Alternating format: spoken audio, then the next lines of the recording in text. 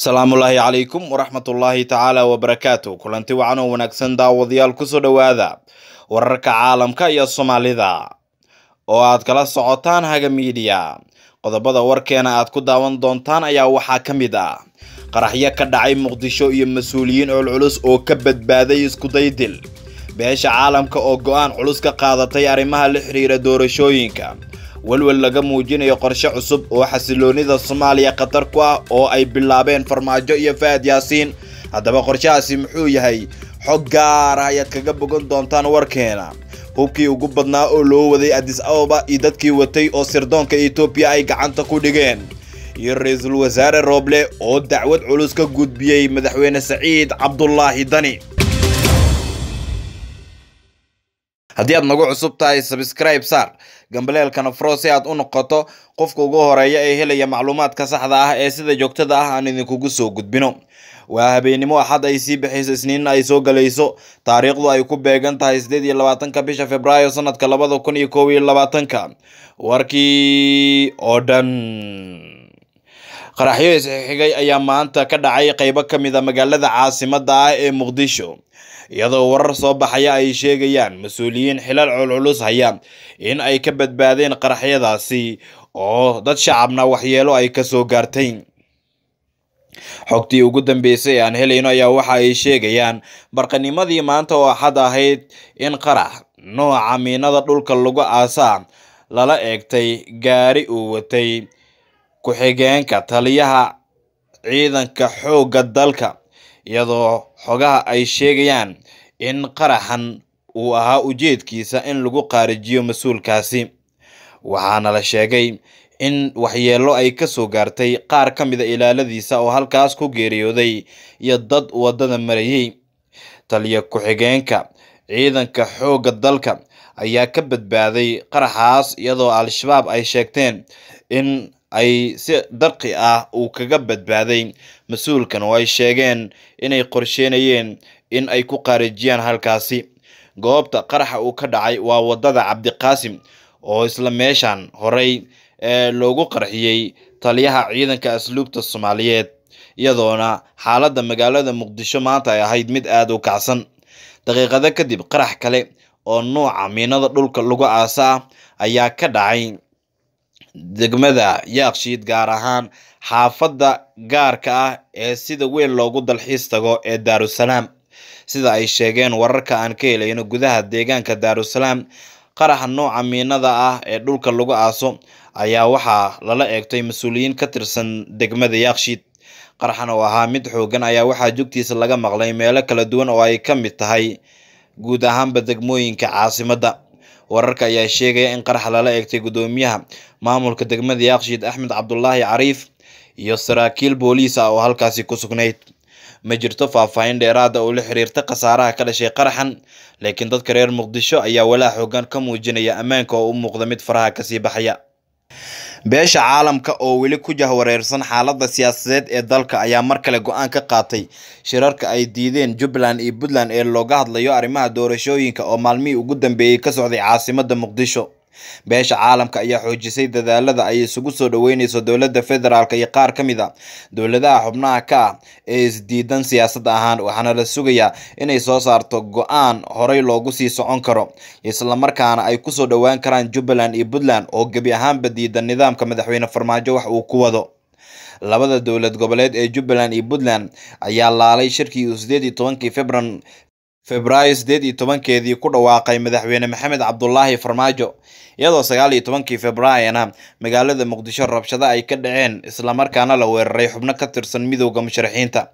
sidoo kale shirka ka dhici lahaa muqdisho waxaa saameyn ku yeeshay dhacdooyinkaas iyadoo madaxweyneyaasha jubbaland iyo puntland ay sheegeen in wax laga xumaado ay tahay in ciidanka xoogga dalka loo adeegsado caburinta siyaasiyiinta iyo shacabka. Waxaana ay sheegeen in villa soomaaliya aysan uga qeybgeli karin hab yaraatee wax shir ah oo looga hadlayo arrimaha doorashooyinka waxay soo jeediyeen meel ka baxsan villa soomaaliya oo ammaankeeda ay damaanad qaadayaan beesha caalamka in shirka uu ka dhaco. Sidaa daraaddeedna sideed qodob ayaa ka dambeysay oo jubbaland iyo puntlandba la fahamsan yahay inay isku og yihiin oo ay soo saareen taasi oo ay qeyb ka tahay in taliyayaasha ciidamada gebi ahaanba xilka laga xayoobiyo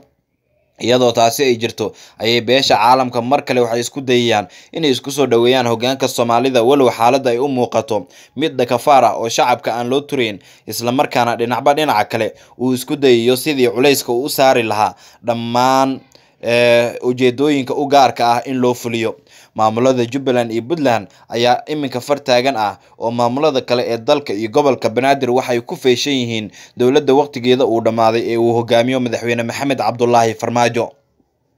Dhinaca kale xogo hoose oo soo baxaya ayaa muujinaya daawadayaal in ra'iisul wasaare maxamed xuseen rooble oo kulan la qaatay xubno ka tirsan beesha caalamka dacwad toosa uu ka gudbiyey saciid cabdulaahi dani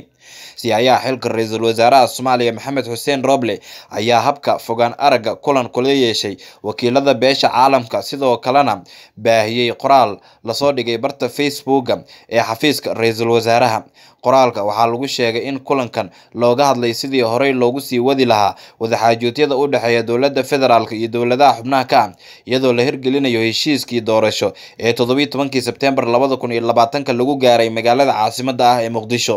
Sidoo kalena aysan ka marnayn hirgelinta isfahamkii dhex maray gudyadii farsamo ee dhowaan ku shiray magaalada baydhabo kuwaas oo laba maalmood ku shireeyay halkaasi islamarkaana xal soo saaray. Sidoo kale qoraalka waxaa lagu sheegay in beesha caalamka ay siihayaa xilka ra'iisul wasaaraha maxamed xuseen roble ku bogaadiyeen kaalintii uu ku lahaa isfahamkii uu la gaaray midooda musharaxiinta kadib shir ay yeesheen shan iyo labaatankii februaayo ra'iisul wasaare maxamed xuseen roble ayaa si gaar ahaaneed walaac uga muujinaya go'aanka ay qaadanayaan jubbaland iyo puntland oo uu ku tilmaamay mid aan soomaalinimada ka turjumayn iyo duruufaha shacabka haysta sidii looga bixin lahaa. Inkastoo jubbaland iyo puntland oo isku dhinac ahna ay sheegayaan in madaxweyne farmaajo wax kasta oo uu sameynayo uu ku dhaqaaqayo sidii uu u soo laaban lahaa taasna aysan suuragal noqon karin. Haddii taliyaasha ciidamada xilka laga qaadana ay wax walba caadi ku soo noqon karaan oo jawi siyaasadeed oo lagu wada hadli karo dalka uu geli karo. Xogo kale oo halis ah oo soo baxaya ayaa muujinaya in gebi ahaanba madaxweyne maxamed cabdulaahi farmaajo iyo taliyihiisa nisa faad yaasiin xaaji daahir ay wadaan qorshe halis ku ah guud ahaanba xasiloonida dalka xaaladan uga sii dari kara. Madaxweyne farmaajo iyo taliyaha nisa faad yaasiin xaaji daahir ayaa bilaabay in ciidamo gaara oo kuwa waxbasaasa ay ku soo daadiyaan magaalada muqdisho kuwaas oo maleegaya shirqoollo ka dhan ah dadka xukunka farmaajo ka soo horjeeda. Wararka ayaa sheegaya in madaxweyne farmaajo iyo xulafadiisa ay adeegsadaan awood dhaqaale iyo mid ciidan si ay u sii joogaan xukunka ugu sareeya dalka. Ciidamo dharcad ah oo aada u tiro badan oo ku xareysan xarunta nisa ayaa la sheegay in maalmaha soo socda lagu daadin doono. Magaalada muqdisho gaar ahaan waxa ay si xoogan uga howlgeli doonaan deegaanada ay ku badan yihiin mucaaradka xog gaara oo aan helnay ayaa tibaaxaysa in ciidanka dharcadka ah ay fulin doonaan howlgallo kala duwan oo ay ugu weyn tahay inay si bareera u toogtaan dadka aragtida ka duwan dowladda federaalka soomaaliya qaba gaar ahaan kuwooda xagjirka ah ee looga cabsanayo siyaasadda dalka in saameyn ay ku yeeshaan. Sidoo kale taliyaha nisa ayaa wada qorshe ciidanka eritrea laga keenayo loogu wareejinayo hay'adda nisa si ay qeyb uga qaataan howlaha nabad sugidda ay hayso. Doorashada soomaaliya oo haatan mareysa meel xasaasi ah islamarkaana aan go'aan rasmi a laga qaadan xilliga ay dhacayso ayaa go'aankan waxaa lagu tilmaamay inuu noqon karo mid dharbaaxo ku noqon karo isku soo dhowaanshaha ay sameeyeen mucaaradka iyo muxaafidka faad yaasiin xaaji daahir waxa uu u muuqdaa in uu qaadayo dhaba kasta oo u arko in xilligan dowladda federaalka soomaaliya awoodeeda ay ku sii muujin karto. Waxaana sidoo kale la sheegay in fahad yaasiin iminka uu ka shaqeynayo inta uusan xilka ka tegin in uu badbaadiyo madaxweyne maxamed cabdulaahi farmaajo sumcadiisa isagoo ku badbaadinaya awood ciidan oo aan ka soo laabasho lahayn wararka ka imaanaya caasimada adis awa ee etoobiyana waxa ay sheegaysaa in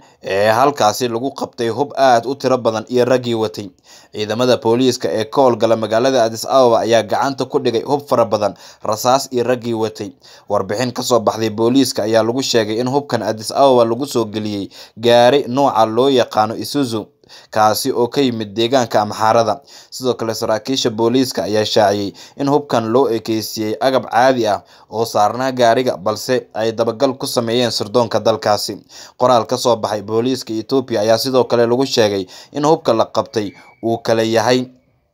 labo p k m labo nsper soddon iyo sideed bistooladaha waaweyn shan iyo labaatan bistooladaha yaryar shan boqol shan kun sagaal boqol sagaashan iyo laba rasaasta qoriga aakaha ah